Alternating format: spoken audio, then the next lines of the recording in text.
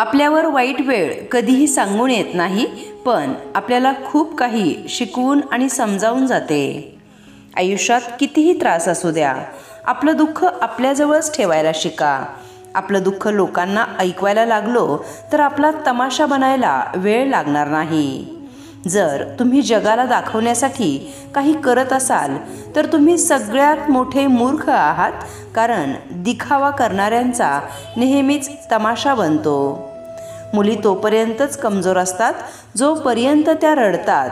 त्यांनी रडणं सोडलं तर त्यांच्याबरोबर चुकीचं वागणाऱ्यांना रडावं लागतं.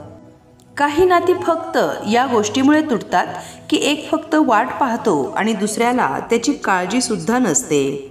मनातल्या गोष्टी सरळ सरळ सांगितल्या पाहिजेत कारण सांगितल्यामुळे काहीतरी निर्णय घेता येतो आणि न सांगितल्यामुळे परकेपणा वाढतो.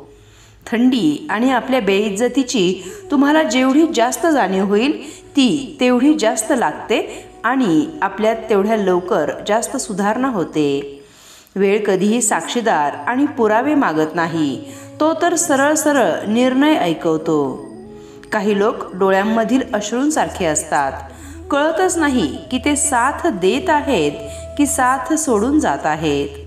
तुमच्या आयुष्यात जर कधी वाईट वेळ आलीच नसती तर आपल्यामध्ये असलेले परके आणि परक्यांमध्ये असलेले आपले कधी आपल्या लक्षातच आले नसते. एखादा माणूस जर आपल्याला काही देत असेल तर चार गोष्टी ऐकवून देतो. फक्त एक देवाचंच दार आहे जिथे आपल्याला असे कोणतेही टोमणे ऐकायला मिळत नाहीत. आयुष्य दोन दिवसांचं असो किंवा चार दिवसांचं असो पण आयुष्य असं जगा की आयुष्य तुम्हाला नाही तर तुम्ही आयुष्याला मिळालेले आहात. जे सहजासहजी मिळते ते कधीच आपल्याबरोबर राहत नाही आणि जे नेहमी आपल्याबरोबर असते ते कधीच सहजासहजी मिळत नाही. विषामध्ये सुद्धा एवढं विष नसेल जेवढं माणूस आपल्या मनामध्ये साठवून ठेवतो. तुमच्यामध्ये सुद्धा काहीतरी खास आहे. कारण देव कोणतीही फालतू गोष्ट बनवतच नाही. माणसांना रडवून जर तुम्ही होम हवन करत असाल तर त्याचा काहीही उपयोग नाही. यापेक्षा रोज एका माणसाच्या चेहऱ्यावर हसू आणा. तुम्हाला साधी अगरबत्तीसुद्धा लावायची गरज भासणार नाही. माणसाला आयुष्यात फक्त दोनच गोष्टी जास्त दिसतात एक म्हणजे आपण खूप बुद्धिमान आहोत हे आणि दुसरं म्हणजे दुसऱ्यांच्या चुका.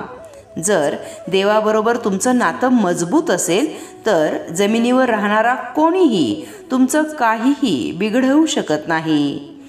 काही गोष्टी रडल्यामुळे नाही तर वाट पाहिल्यामुळे संयम ठेवल्यामुळे मिळतात. दुसऱ्याच्या मूर्खपणावर हसाल तर तुमचा अहंकार वाढेल. आणि स्वतःच्या मूर्खपणावर हसाल तर तुमचा अहंकार कायमचा तुटेल. परिस्थिती बदलणं जेव्हा शक्य नसेल तेव्हा मनस्थिती बदला. सगळं आपोआप बदलेल. आवडतं मला अशा लोकांबरोबर हरणं जे आपल्या हरण्यामुळे पहिल्यांदा जिंकले आहेत आणि त्यांना त्या जिंकण्याचा आनंद मिळालेला आहे. दररोज सुंदर विचारांची शिदोरी ऐकण्यासाठी चॅनलला जरूर सबस्क्राईब करा.